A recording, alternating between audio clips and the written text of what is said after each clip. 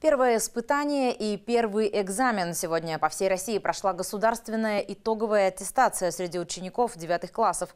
Выпускники сдавали английский язык – это предмет по выбору. Как все прошло в Кирове, увидела Евгения Бакина. Еще вчера для этих ребят прозвенел последний звонок, а сегодня им нужно собраться с мыслями, вспомнить все, чему их учили в школе и показать свои знания. Для девятиклассников это первый экзамен, он профильный английский язык. В учебной аудитории уже все подготовлено, осталось проверить документы и все начнется. 4А. Для каждого ученика строго свое место. Номер указан на краю стола. За порядком в аудитории следят учитель биологии со стажем Наталья Колупаева с коллегой. Ребят они не знают, да и сам предмет. В лицее естественных наук сдавать экзамены пришли ученики из Вятской гуманитарной гимназии и Петербургского лицея. Сейчас ученики каждой школы уходят сдавать экзамен совершенно незнакомую для него школы, к незнакомым э, учителям, которым мы их совсем не знаем. Вот у нас список лежит, и 16 э, человек в нашем кабинете будет сдавать экзамен. Не только в кабинете, но и за пределами аудитории сидят учителя. На случай, если ребята захотят выйти в туалет или им потребуется медицинская помощь. В самих классах тишина. Все строго по времени. Ровно в 9.45 напутственные слова и инструктаж. Ребятам рассказывают, что делать можно, а что нельзя. Фотографировать экзаменационные материалы пользоваться справочными материалами, кроме тех, которые указаны в тексте КИМ, переписывать задания из КИМ в черновики, перемещаться по пункту проведения экзаменов. А ровно в 10 утра в аудитории открыли конверт с заданиями и объявили о начале экзамена. Он проходит в течение двух часов, а все результаты по английскому языку ребята узнают примерно через две недели. А во вторник, 28 мая, все девятиклассники будут сдавать основной предмет – русский язык.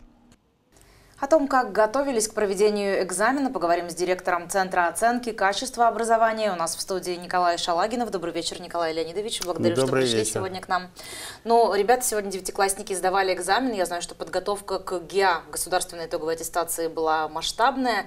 Вот э, чуть позднее поговорим про ЕГЭ. А вот если говорить именно о ГИА, какие-то изменения были в этом году технического характера? Камеры или там что-то еще? Ну, итоговая аттестация в девятых классах, она, в общем-то, уже достаточно идет давно, и э, очень важно то, что она практически уже стала стабильной. То есть для участников экзамена особых изменений никаких нет. Угу. Единственное, это было итоговое собеседование как э, условие допуска к итоговой аттестации.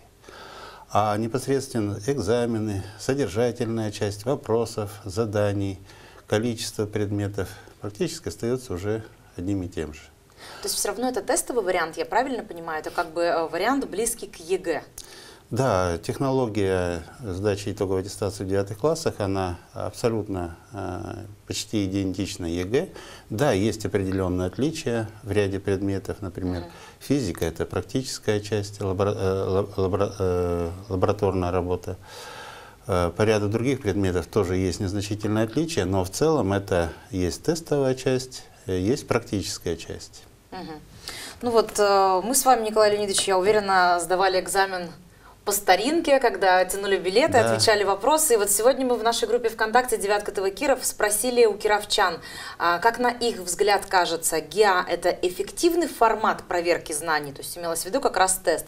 И вот 61% из проголосовавших считают, что нет, лучше старая система без тестов. Как считаете вы?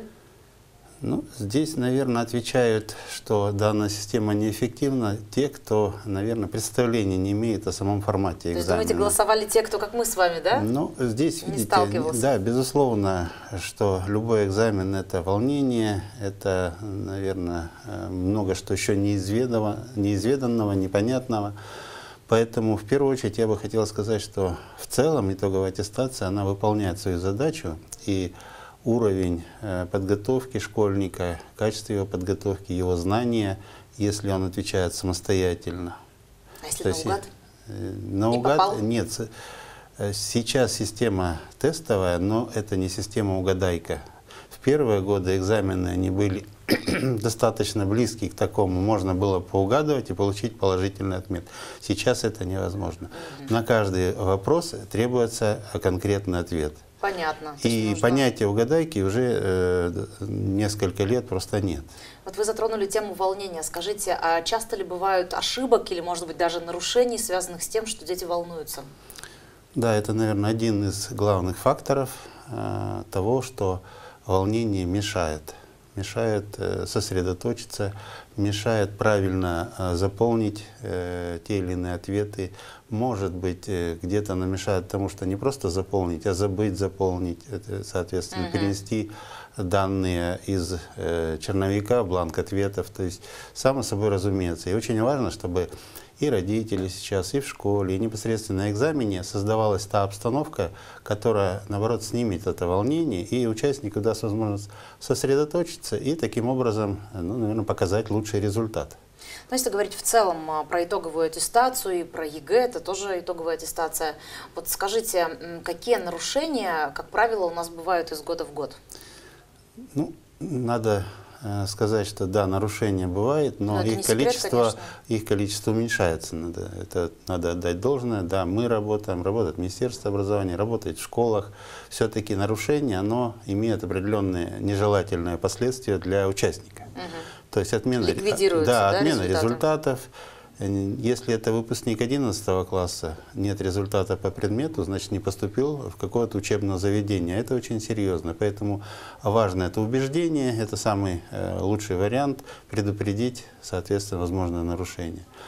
Поэтому, да, нарушение встречается, это шпаргалки, ну, все еще... Даже по старинке, Мы с вами были студентами, э, мы, наверное, тоже писали шпаргалки. Ну, Зачастую конечно. писали не для того, чтобы использовать, а для того, чтобы э, вспомнить каким-то образом на подсознательную память. Да, дети приносят шпаргалки, э, они не обнаруживаются на входе, и в момент использования, а в 11 классах ведется и видеонаблюдение, угу. это все достаточно видно со стороны и, естественно, может уже э, быть использовано как доказательство того, что использовала шпаргалка сотовые телефоны.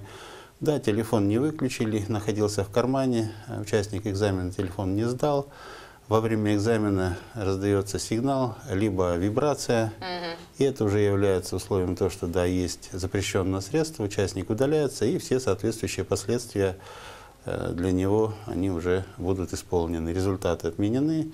Ну, а, соответственно, раз это нарушение, то и в надзорные органы будет подана соответствующая информация. Ну, в понедельник э, мы, у нас будет первый ЕГЭ. А, вот скажите, все ли готово у нас к проведению этой аттестации? Да, вот вопрос подготовки к итоговой аттестации, безусловно, сложный вопрос, особенности, когда он э, сама аттестация технически сложная. Да, мы уже перешли на технологии так называемой печати непосредственно в аудиториях, то есть участники экзамена находятся в аудитории, заносятся компакт-диски зашифрованной информацией, при них расшифровывается, распечатывается, то есть к этой информации доступ уже физически никто не мог Доступа иметь. Да, не было да, уже не точно. было никогда точно.